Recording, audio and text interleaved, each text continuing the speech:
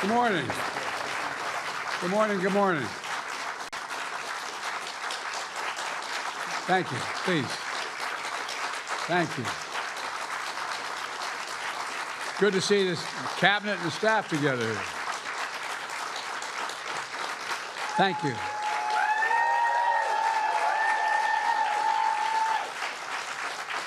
Thank you, thank you, thank you. Please. Thank you, thank you, thank you. Yeah, uh, it's good to see you all. Particularly good to see my granddaughter sitting in the front row here. Hi, Finn. How are you, honey? For over 200 years, America has carried on the greatest experiment in self government in the history of the world. And that's not hyperbole, that's a fact. We're the people. The people vote and choose their own leaders, and they do it peacefully. And we're in a democracy. The will of the people always prevails. Yesterday, I spoke with President elect Trump to congratulate him on his victory. And I assured him that I'd direct my entire administration to work with his team to ensure a peaceful and orderly transition. That's what the American people deserve. Yesterday, I also spoke with Vice President Harris. She's been a partner and a public servant. She ran an inspiring campaign, and everyone got to see something that I learned early on to respect so much her character. She has a backbone like a ramrod. She has great character, true character. She gave her whole heart and effort, and she and her entire team should be proud of the campaign they ran. You know, the struggle for the soul of America since our very founding has always been an ongoing debate and still vital today. I know for some people, it's a time for victory, to state the obvious.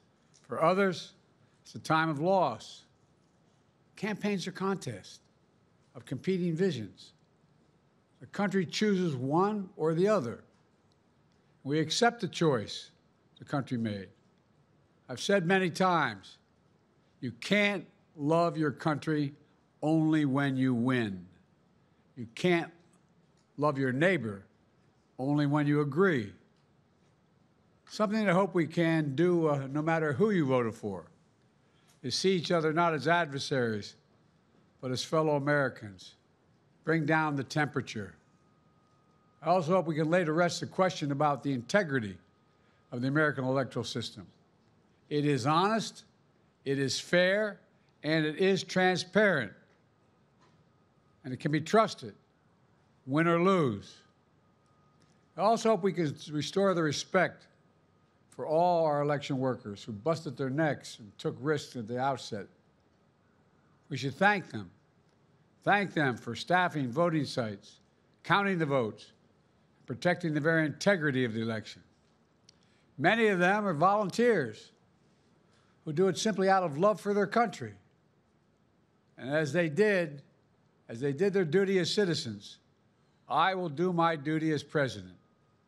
I'll fulfill my oath and I will honor the Constitution. On January 20th, we'll have a peaceful transfer of power here in America.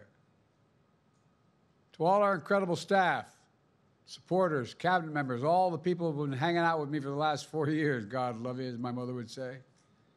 Thank you so much. You put so much into the past four years. I know it's a difficult time. You're hurting. I hear you and I see you. But don't forget, don't forget all that we accomplished. It's been a historic presidency. Not because I'm president, because what we've done, what you've done. A presidency for all Americans. Much of the work we've done is already being felt by the American people, but the vast majority of it will not be felt, be felt over the next 10 years. We have, a, we, we have legislation we passed that's just only now just really kicking in we're going to see over a trillion dollars worth of infrastructure work done, changing people's lives in rural communities and communities that are in real difficulty because it takes time to get it done. And so much more it's going to take time, but it's there. The road ahead is clear, assuming we sustain it.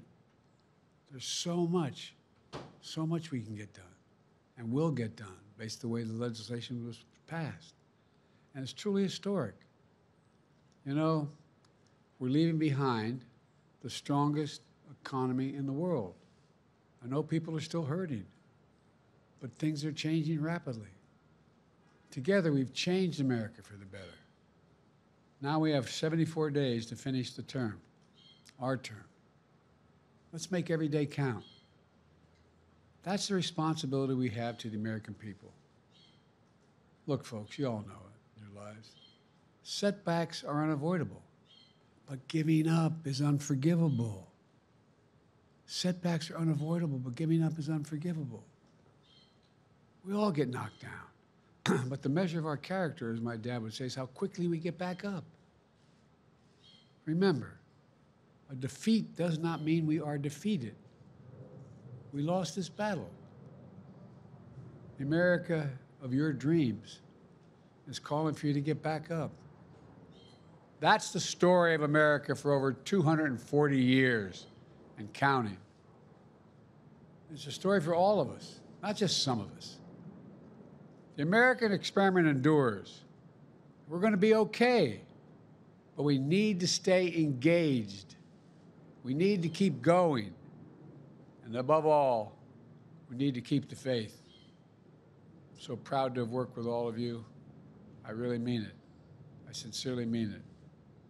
God bless you all. God bless America. And may God protect our troops. Thank you, thank you, thank you.